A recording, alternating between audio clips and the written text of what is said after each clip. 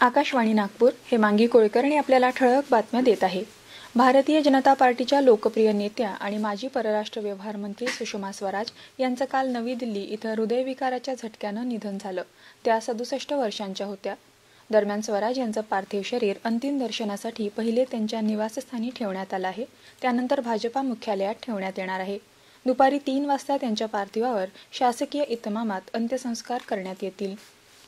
राष्ट्रपती रामनाथ कोविंद पंतप्रधान नरेंद्र मोदी भाजपाचे ज्येष्ठ नेते लालकृष्ण अडवाणी माजी पंतप्रधान डॉक्टर मनमोहन सिंग संपुआ अध्यक्षा सोनिया गांधी बसपा प्रमुख मायावती आणि भाजपाचे तसंच इतर पक्षांच्या नेत्यांनी आज सकाळी स्वराज यांच्या निवासस्थानी जाऊन श्रद्धांजली अर्पण केली. देशानं लोकप्रिय नेता गमावला असल्याचं राष्ट्रपती रामनाथ कोविंद यांनी म्हटलं आहे. स्वराज यांचं निधन ही देशासाठी तसंच वैयक्तिक स्तरावर देखील मोठी हानी असल्याचं उपराष्ट्रपती एम व्यंकय्या नायडू यांनी म्हटलं आहे. भारतीय राजकारणाच्या एका अभिमानास्पद अध्यायाचा अंत झाल्याची प्रतिक्रिया पंतप्रधान नरेंद्र मोदी यांनी आपल्या शोकसंदेशातून दिली आहे.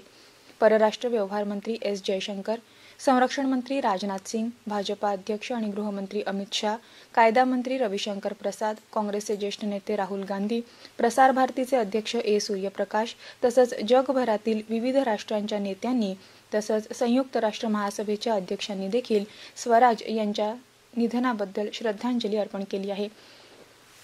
दिल्ली सरकारतर्फे माजी परराष्ट्र व्यवहार मंत्री सुषमा स्वराज यांच्या निधनाबद्दल दोन दिवसांचा दुखवटा जाहीर करण्यात आला आहे.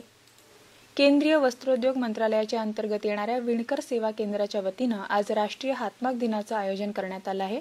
या कार्यक्रमाला नागपूरच्या महापौर नंदा जिचकार तसंच मध्य नागपूरचे आमदार विकास कुंभारे आणि महाराष्ट्र शासनाच्या वस्त्रोद्योग विभागाच्या आयुक्त डॉक्टर माधवी खोडे उपस्थित राहणार आहेत.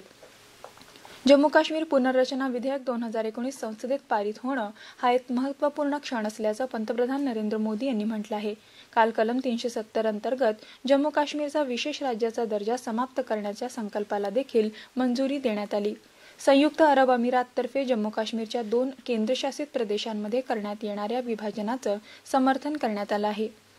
भारत आणि वेस्ट इंडिज दरम्यान काल गयाना इथं झालेल्या टी ट्वेंटी क्रिकेट सामन्यात भारतानं सात गड्यांनी वेस्ट इंडिजला पराभूत करत टी ट्वेंटी शृंखला तीन शून्यनं जिंकली.